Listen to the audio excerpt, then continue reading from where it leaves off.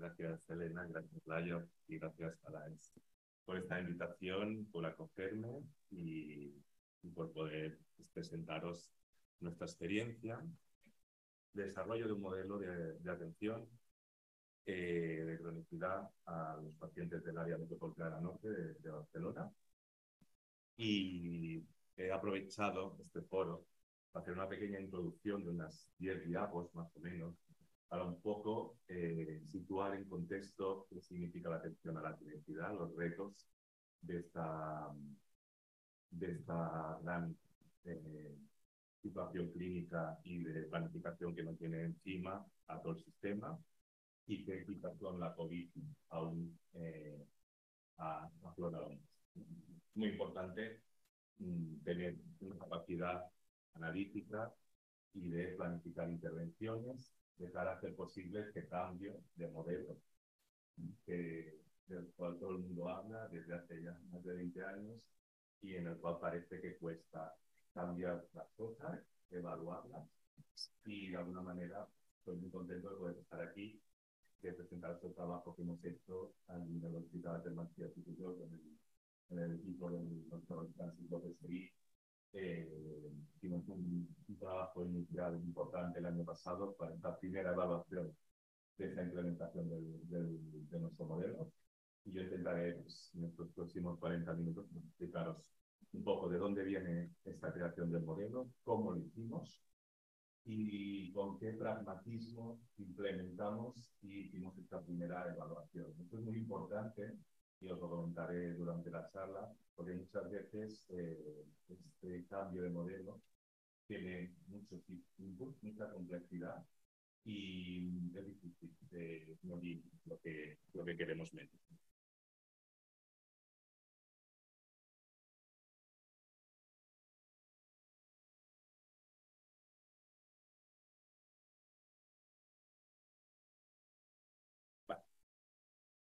Lo dicho, eh, partiremos de eh, nuestro punto de partida eh, del proyecto, después explicaremos cómo lo hicimos en nuestro territorio y ya iremos a, analizar este manuscrito que está en revisión.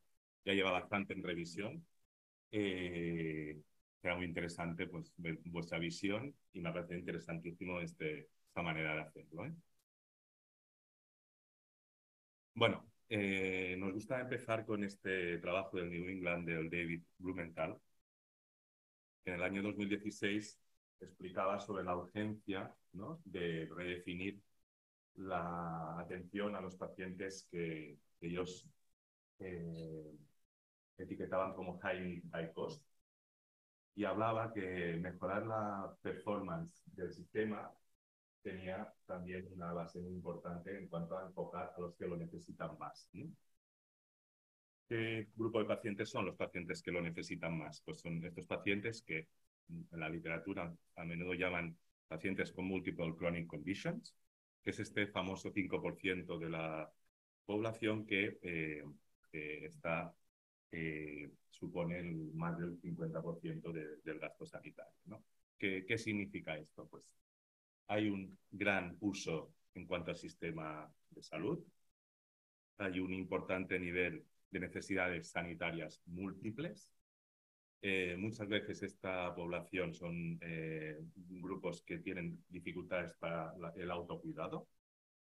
Y, eh, por último, no menos importante, el tema de la complejidad social. ¿no? Muchas necesidades de salud y necesidades sociales van juntas y por tanto, en ese sentido, eh, es importantísimo tener este, este, abordaje. En un paper que se planteaba posteriormente, eh, se hablaba de cómo hacerlo, ¿no? Y en, en esa discusión comentan tres pasos muy importantes. En primer lugar, entender qué significa la atención eh, de los pacientes crónicos complejos, porque no son todos iguales. Esto es un tema que los que tenemos background clínico lo vemos, ¿no? Hay mucha heterogeneidad de los pacientes en, las poblaciones de cronicidad, por tanto, no es lo mismo hacer un programa para pacientes frágiles en riesgo de volverse dependientes, para pacientes con multimorbidad o pacientes con enfermedad avanzada en final de vida, ¿no? Por tanto, de alguna manera hay que saber a qué grupo poblacional identificamos y probablemente las estrategias tienen que ser eh, compartidas con especificidades según, según el riesgo y según eh, lo que esperemos que pueda pasar. Es importantísimo eh, buscar y ver todo el, core de literatura que tenemos en cuanto a, a modelos y programas que, han, que se han basado en la evidencia y que han tenido resultados positivos. Más que nada, como decía antes, porque estos programas son complejos, eh, hay múltiples actores involucrados y, y, muchas veces es difícil aplicar un programa que se ha hecho en, en el veterano de Estados Unidos a la población de Santa Coloma de la Gramenet, por decir algo. Eh, y en este sentido, o a la población de, de, aquí, de un área rural de aquí en Euskadi. ¿no? Y, y, en tercer lugar, tener en cuenta que los cambios en cuanto a modelo eh, tienen que ir acompañados siempre de unos cambios en, en, cuanto a la financiación. Y aquí hay unas barreras terroríficas desde el punto de vista de que si cambiar significa cobrar menos, eh, ya sabes que esto muchas veces es un problema. ¿Por qué lo digo? Lo digo porque en el artículo que publicaron eh, tan posteriormente en la revista Llama, bueno, sí, aquí eh, hay algunos expertos en el tema del Value Based Payment, ¿no? Pero muchas veces eh, muchos de los recursos se están financiando por el uso, ¿no? Y estamos muy potenciando, la financiación está muy orientada al uso de recursos hospitalarios, ¿no? Si quizás en cronicidad enfocamos a, a no atender tanto a los pacientes en hospital y buscar otras alternativas, pues entonces el, los responsables directivos del ámbito hospitalario pueden decir, mm, esto me conviene a mí, si significa menos, menos ingresos. Es, una, es un ejemplo de las barreras importantes en cuanto a la financiación. Desde el punto de vista de las intervenciones, muchas veces intentamos ajustar complejidad, buscamos entre nuestros datos, pero en muchas ocasiones todos estos ítems de complejidad social están muy mal ajustados ¿no? y nos cuesta mucho desde salud medir la, la complejidad social. En tercer lugar, todo este tema de, de, pagar estos servicios que no son puros y duros sanitarios, ¿no? que en muchas ocasiones no, tampoco está resuelto eh, si este budget va a salud, si este budget va a servicios sociales, eh, este se tiene que compartir, etc. ¿no? Y por último, importantísimo el tema de los sistemas de información, de compartir datos. En Cataluña tenemos una experiencia muy importante de intentar en algunas zonas pues, tener acceso a datos de salud y sociales juntos. Y creo que es uno de los temas que en todos los proyectos de integración se habla, el tema del, del acceso, de que la, la, información fluya entre los diferentes proveedores y poder saber qué está pasando en cada uno de los eh, momentos. Bueno, como os decía antes, solo a modo de pincelada dos diapositivas, el tema del, del high cost healthcare users. ¿no? no todos los perfiles son, son iguales. ¿no? Hay perfiles de pacientes que son consumidores de recursos en general, ¿no? por muchas, muchas variables. Eh, otros pacientes que son solo múltiples consumidores de diferentes recursos, como puede ser ir a urgencia. Una cosa muy importante que ahora hablaremos son estos pacientes que son estas poblaciones que están en alto riesgo de, de, de convertirse en, en, en high, high, cost patients. Y por último, eh, este perfil de, de, altas necesidades. ¿no? En nuestra experiencia, nosotros eh, enfocamos a los pacientes que eh, sumaban el punto 1 y el punto 4. ¿no? High need, altas necesidades sanitarias y sociales, y high cost, ¿no? ser de los más consumidores para el sistema. Pero eh, si tenéis eh, en la cabeza un proyecto de en dónde enfocar para abordar la, la cronicidad, en ese trabajo de más de 500.000 eh, personas del Medicare, eh, datos del 2011 que hicieron un seguimiento del 2012, fijaros, es en la, en la población mayor frágil, en riesgo de volverse dependiente, en riesgo de institucionalizarse, etcétera, donde esta población en el, en el follow-up vieron que eran los que evolutivamente eh, se, se, convertían en, en, high cost. ¿Por qué? Por las cascadas de, de eventos adversos de los pacientes pues, mayores, frágiles, caídas, etc. Disculpadme porque como soy muy clínico, a veces me voy para lo clínico. ¿eh? Si, eh, mi, mi, background de geriatra me, me, lleva a lo que me permitiréis cada una vez me vaya a las personas un poco en formato demasiado. Bueno, en Cataluña tenemos una experiencia muy importante, eh, líderes como Joan Carlos Contel, eh, Jordi Blas, Sebastián Eugenia han estado estos últimos años pues, eh, trabajando la, la, estrategia de identificación. Eh, ahora mismo tenemos eh, una estrategia, la del 2020, que incluye tres perfiles de pacientes o poblaciones, los mayores fáciles en riesgo de complicarse, los mayores con lo que se llama paciente crónico complejo, creo que no, eso el sistema de los sistemas de salud españoles, la mayoría ya tenéis hay experiencias similares. Y por último, los eh, pacientes con enfermedad crónica avanzada, que son pacientes con multimorbidad o, o, situación avanzada, que están en situación de último año de vida, más o menos. ¿vale? Eh, los PCCs, en terminología de Cataluña y los MACA, eh, son los pacientes high need, high cost de la literatura, ¿no? Y son los que nosotros hemos enfocado en nuestro proyecto. Fijaos que en este trabajo que publicaron en, en el 2021 se ve que los pacientes crónicos complejos y avanzados, pues ya lo sabemos, ¿no? Pero es interesante verlo.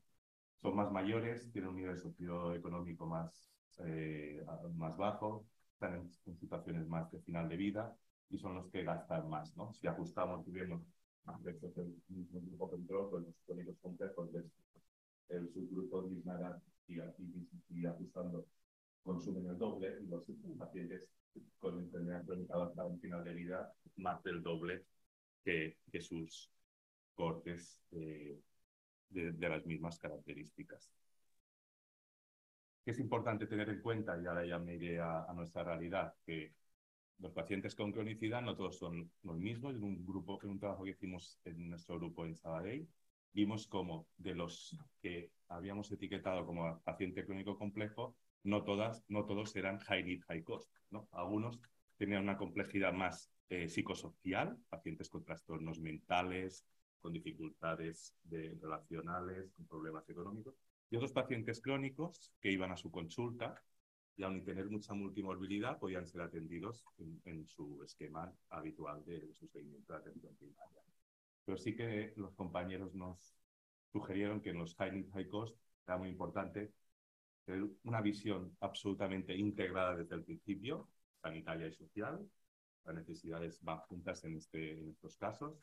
Tener un trabajo muy importante de colaboración entre sectores y entre unidades transversal, eh, primaria hospital y con servicios comunitarios, y tener una visión muy de, de aproximación de fase avanzada y, y holística, ¿no? En a, a abordaje de a garantizar un final de vida como la máxima calidad y, y, y en el domicilio. ¿no? ¿Y cómo se hace esto? ¿no? Los que trabajamos en este tema pues, conocemos y hay un movimiento mundial que es el de pues, trabajar hacia el integrated care, ¿no? Eh, tener una aproximación integrada a dar respuesta a, a, estos, a estos grupos de población. Y la integración, ¿cómo la podemos hacer? Pues la podemos potenciar hospital primaria, lo que se llama integración vertical. Y en segundo lugar, la podemos eh, potenciar transversalmente entre servicios sociales y servicios de salud, ¿no? lo que se llama eh, integración horizontal. ¿no? Esto es un poco el, el, punto de partida ¿no? que nosotros teníamos y, y, en el sentido de cómo se hace esto. ¿no? Pues lo, lo, que la literatura nos dice es que los son los programas de case management, ¿no? de gestión de casos y de coordinación entre, entre dispositivos, los que eh, son más útiles a la hora de, eh, de, apoyar este cambio de modelo. ¿no? ¿Y qué, qué tendría que, con, que contener un programa de gestión de casos? Pues una visión muy centrada en, en intervenciones presenciales, físicas, pacientes con complejidad a distancia cuesta mucho llevarlos porque hay muchos inputs y, y en ese sentido eh, es muy importante la intensidad de visitas. Es imprescindible la aproximación multidisciplinar de diferentes disciplinas sanitarias y sociales con profesionales expertos. Muy importante identificar las poblaciones de riesgo porque estos serán los que se beneficiarán más de esta integración de servicios importantísimo incidir en los sistemas de información de entrada siempre, en cualquier proyecto de, de atención a la identidad, y, y, tener un foco muy importante en el entrenamiento, en la educación en salud y entrenamiento tanto a, a poblaciones como a cuidadores, ¿no? Y focalizar mucho en las transiciones de un, de un sitio a, a otro. ¿no? Bueno, ya para acabar, lo que vimos en el año 2018, cuando empezamos este proyecto, que parecía que la mayoría de programas nos decían que aumentar la intensidad en, los, en la respuesta desde los dispositivos de atención primaria, pues tenía un impacto en la reducción de ingresos, tenía un impacto muy importante en la calidad de la atención recibida y probablemente no había tanto impacto en la mortalidad o en o no había una homogeneidad en la coste-eficiencia, ¿no? Probablemente porque eh, quizás no es el foco, ¿no? Que se muera menos o, más un paciente cuando está ya en una fase muy avanzada. Lo que nos interesa más es la calidad y el mantenimiento en el domicilio. Entonces, aquí tenéis la área metropolitana, ¿no? Nosotros eh, en esta área del IX, la gerencia territorial es una gerencia integrada, primaria hospital, tiene 64 equipos de atención primaria a su cargo, un hospital terciario, que es el Hospital de Maestrías y Pujol. Y allí en 2018, eh, nuestro equipo de gerencia decidió crear una dirección clínica territorial que planificara la atención eh, primaria hospital eh, del territorio, nuestro territorio del IC, y pudiese de alguna manera trabajar para el cambio de modelo asistencial para los pacientes crónicos. Cuando creamos la dirección clínica, la dirección clínica formamos un par de geriatras, varias enfermeras de primaria, eh, profesionales expertos tanto de primaria y hospital que son colaboradores. Y hay un trabajo muy importante con todos los recursos de la gerencia para la, evaluación y para la diseminación y, y, posterior pues, consolidación de los proyectos. Nosotros decidimos hacer dos grandes proyectos. Proyecto orientado a la facilidad, como no es el foco de este, de este estudio, pero sí que, sí si queréis más adelante en propios análisis, pues os presentamos el foco en la facilidad. Aquí hay una gestión de casos preventiva, ¿vale? Y, y un foco muy en qué importa cada paciente. Y la cronicidad, en el cual decidimos, para definir un modelo de cronicidad, pues decidimos crear el programa ProPCC para las personas con cronicidad compleja y avanzada, esto es el acrónimo, en el cual eh, tenía que centrar en la persona, eh, pivotar sobre la gestión de casos durante el manejo en la comunidad y durante la hospitalización. Esto nos tenía que servir un poco como margen para poder eh, pilotarlo en un entorno más reducido y extenderlo a los 64 equipos de atención primaria. Si tenéis interés, esta es la publicación que hicimos en el año 21, donde explicamos el modelo. Me ha parecido importante explicaros un poco cómo lo hicimos, aparte de cómo lo hemos evaluado, porque ha sido un trabajo que podríamos decir de, de orfebrería, ¿no? De alguna manera hemos ido, pues, a través de la herramienta de la dirección clínica, con todo el apoyo de la gerencia, hemos hecho todo un proceso, ¿no? De creación de modelo, de hacer partícipe a los actores, intentar alinear para la implementación, intentar que la evaluación nos comporte eh, que este proyecto este nuevo modelo pues se quede en el tiempo ¿no? y pueda extenderse a los 64 equipos. Como nos decían en la primera diapositiva, es muy importante buscar las prácticas clínicas de valor. Esto lo hicimos en el año 2018 y eh, lo hicimos de la mano de un grupo de más de 100 personas eh, primaria hospital para un poco pensar puntos de la evidencia que, que valoramos, pues como lo hacíamos. Pues este mismo grupo se ha servido para implementar cambios organizativos en la gestión de casos, como os he dicho, de 16 equipos de atención primaria.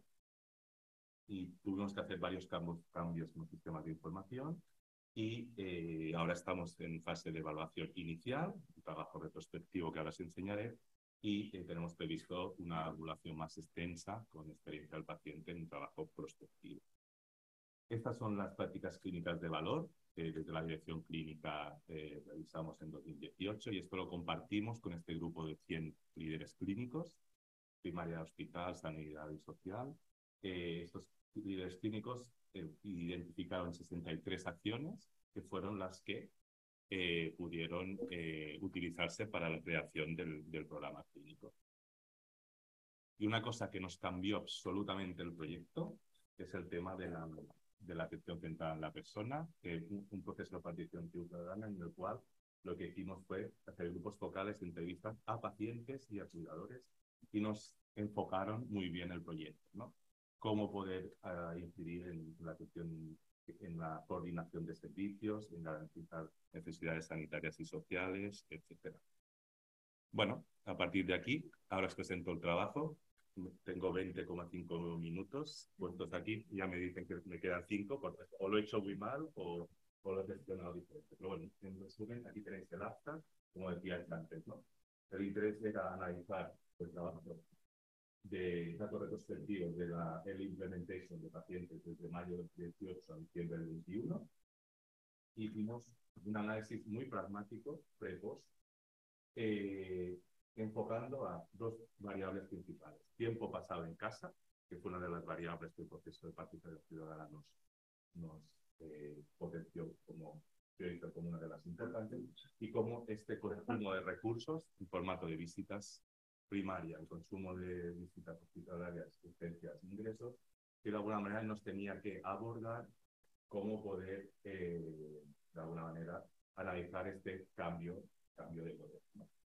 Entonces, incluimos 264 pacientes y vimos este análisis del de, impacto económico en el, en el consumo de, de, recursos vinculados con la atención directa, visitas e ingresos, y un poco eh, vimos si realmente esta sospecha o esta intuición o esta hipótesis de que haciendo esta orientando esta, estos recursos a aumentar la intensidad en la comunidad podía tener un impacto beneficioso en los costes eh, del, del, programa. ¿no? Aquí tenéis los 16 equipos de atención primaria de Badalona y Santa Coloma que están en el, en el programa.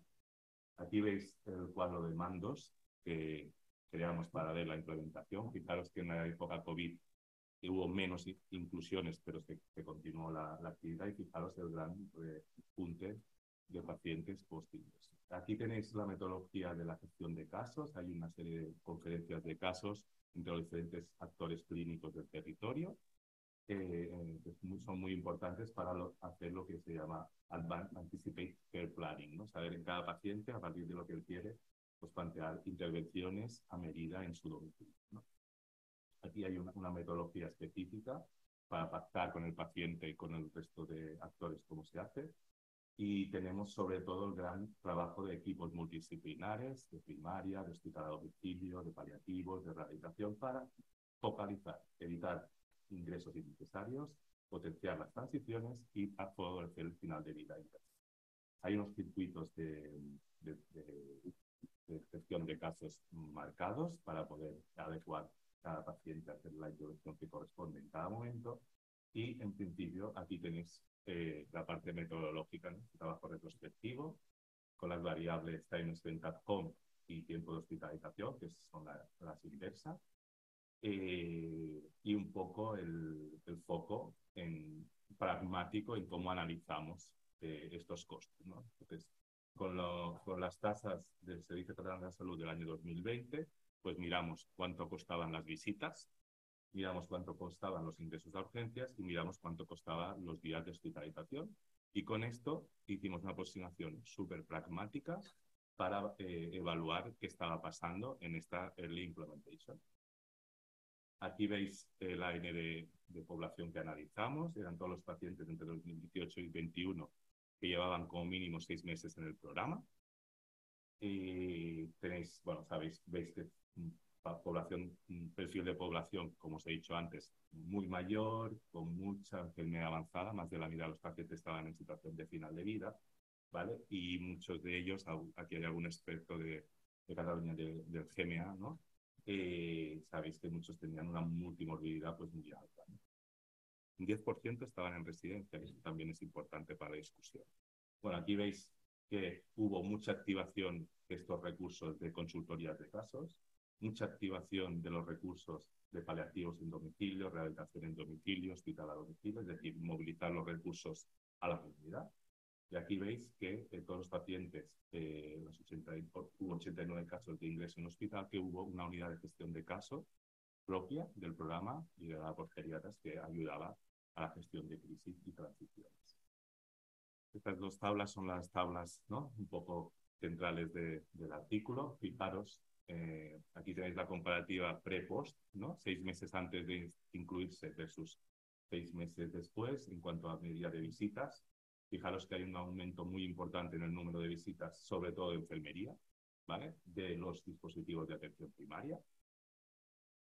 Fijaros que este aumento de visitas comporta eh, una importante reducción en las derivaciones a urgencias y también una importante reducción de cerca del 30% en los ingresos hospitalarios. Lo que más me llama la atención de esta primera aproximación, fijaros cómo se ha reducido la estancia media de estos pacientes de 12,7 días a 7,8, una reducción de prácticamente el 40%. Y aquí, para la discusión, será muy interesante explicar este concepto de gestión de casos, ¿no? de que hay unos profesionales clínicos en primaria que envían unos pacientes, que hay unos profesionales clínicos en el hospital que los reciben y que trabajan de manera incansable para estar ni un día más ni un día menos en el hospital.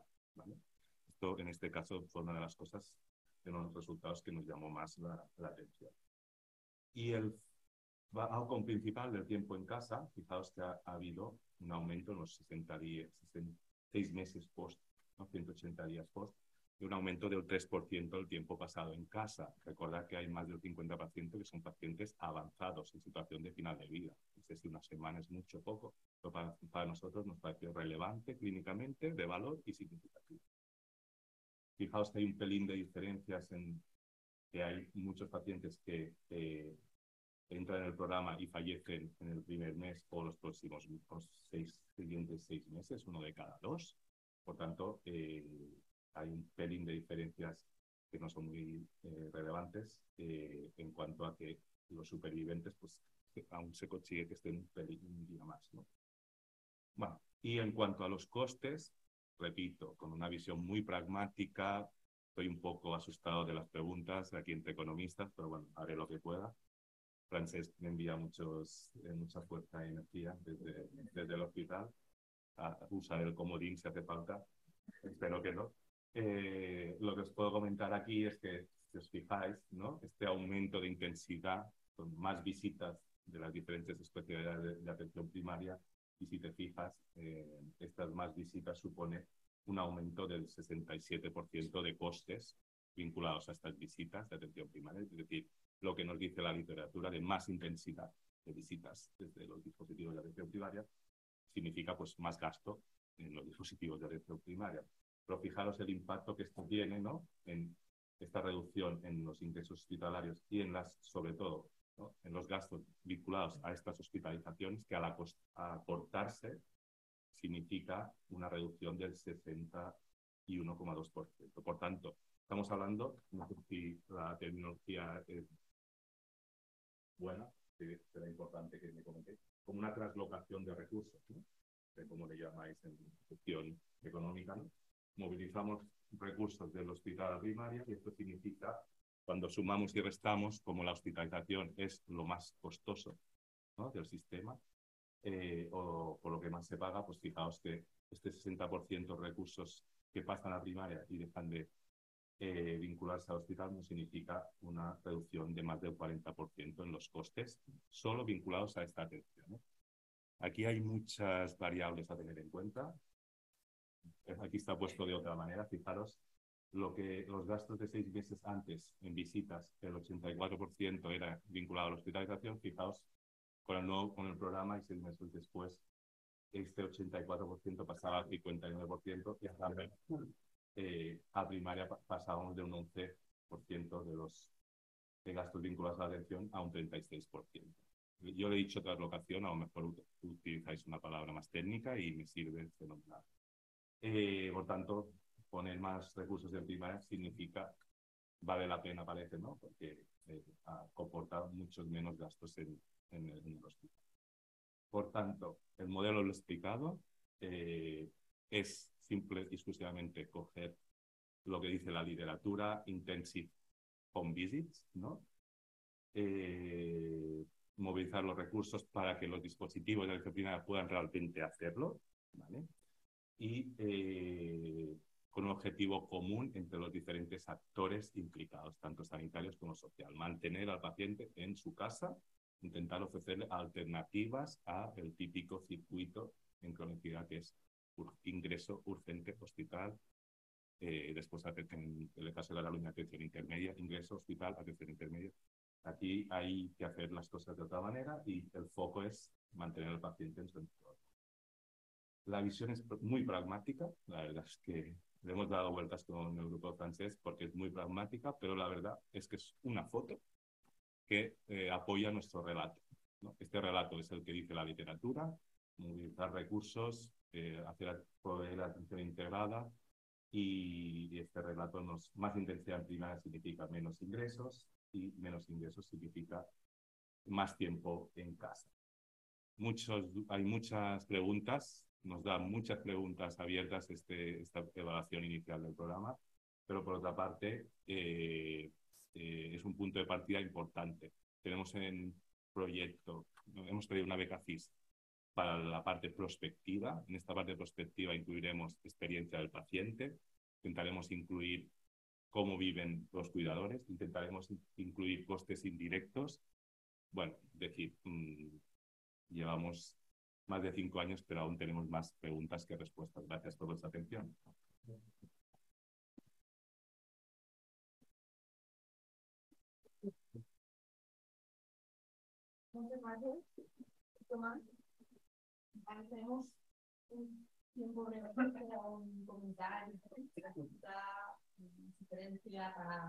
Como dicen, aquí ha empezado un, programa y una primera investigación, pero la idea es esto, esto es para, mucho más. Entonces, acordar un poco de presentaros para casi todos nos presentamos y para de dónde soy Cantabria, del grupo de comunidades de Universidad de Cantabria. Eh, felicitaros por el trabajo, la verdad, además también lo que habéis dicho, lo que habéis hecho, lo que tenéis un poco por delante, y va por delante, no dudo chicas, pero que, que lo que te comento solamente a, a título de a título de ¿vale? En primer lugar, eh, como una cuestión técnica, el tema de varios años, sobre todo vamos a estar los planteles de manera positiva, ojo con el tema de, de no aparece este gobierno, y cuando tengo un poco de trabajo, el tema de la genética es de juego, o sea, el cuento de los años, claro. Pero ya va eso, además también hay que entender. Con la, con la N de espacio. Sí, porque por ejemplo, sí, una, una cuestión seguramente para el revisor. Y después el tema de, de nosotros contabilidad analítica, si me cogéis como los estudios, la capacidad Entonces, un poco esa. La metodología claramente es súper pragmática. Somos conscientes de cómo lo hemos hecho. Entonces, de manual que el revisor debería. Y después, por otro lado, también eh, me queda la, la duda en el sentido de, pues en todas las los lugares donde yo procedo la integración de sanidad y, y parte social, antes comentados también, la necesidad de que eso se mueva común. Yo la práctica diaria en el entorno de los cercanos todo lo entonces, los compartimentos están, entonces tenemos que empujar todos los que estamos aquí, se lo compartimos para ello. Y después también alguna, alguna idea, que nos contado un poco al final, ¿no? la incidencia de resultados de salud de manera actividad, y, y después, eh, lo que te iba a comentar es, hace unos días en Valdecilla, hablaban también un poco para reducir lo que era, por ejemplo, evidentemente la hospitalización, incluso las urgencias y demás, que es la parte que a lo mejor ya la a explicar, y es el uso, evidentemente, estamos en el estamos, de la inteligencia artificial, y mecanismos por los cuales mantienes al paciente en casa, pero incluso evitas un sistema de semáforos, de alerta, etcétera, incluso evitas el paciente estando en casa. Uh -huh. Como dijésemos, esa mayor incidencia en hospitalización. Entonces, eso eh, se lo tenéis en el proyecto y lo habéis incluido también. Y, ya, ya acabó. El tema de la resolución de primaria es algo que también debería, o sea, alguien que no es evaluador del sistema, eh, poner, poner recursos. ¿no? no, no estamos tampoco en el sistema orgánico que haga la farmacia, con la diagnosticar y todas estas cosas compatibles pero no creo que solamente sea una cuestión de recursos, es una cuestión también de, resolución. Yo creo que también puede ser una cuestión interesante también para trabajo.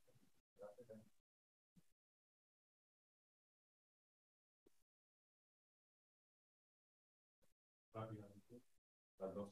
Bueno, contigo con todo lo que has comentado y dos comentarios. Respecto al tema de predecir, tenemos, estamos eh, en el proyecto que vamos a hacer unos pilotos de, de un seguimiento de, de monitorización de, de pacientes, ¿no? Para predecir eh, esta rápida descompensación y esta respuesta rápida. No solo eh, este proyecto, pero sí como que más de, de monitorización y nosotros estaremos dentro. Y en segundo lugar, respecto a la resolución de elección primaria, lo hablamos ayer eh, en la charla de Congreso o de jornada, eh, es evidente que con la complejidad organizativa actual de los dispositivos de elección primaria, o hacemos un cambio estructural y organizativo importante para que determinados profesionales puedan tener capacidad real de resolver crisis, transiciones, situaciones avanzadas, como no hagamos un cambio organizativo estructural, es muy difícil a día de hoy, desde nuestra experiencia corta eh, pero intensa, eh, que en la estructura actual de los dispositivos de la puedan abarcar intervenciones intensas, proactivas y al momento resolutivas de los pacientes de mayores necesidades. Se ha dicho mucho, se está diciendo mucho, pero de verdad estamos viendo que sin este reestructuración prácticamente está inactiva.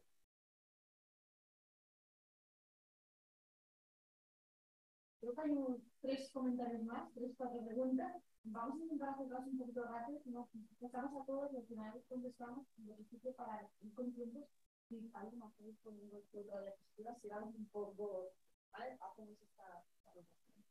No solamente eh, cómo se hace la identificación de los pacientes. ¿Lo hacen los clínicos o los médicos clínicos un poco Ahora ya llevamos unos meses, ya el próximo día tendré un poco menos partido. Eh, ahí es un doble. Eh, de información y la metodología de Es una, una detección de multimodalidad que ya te ayuda a detectar los pacientes con más previa por datos con más complejidad y después hay una identificación clínica que complementa cada clínica. Con las medidas de, de, de para visitar la emergencia ambas igual ver si va a en algún área del cerebro, porque si te analizar por diferencias, estamos de acuerdo.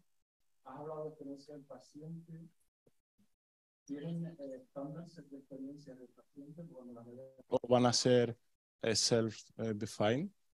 Y la otra, eh, no me olvidé.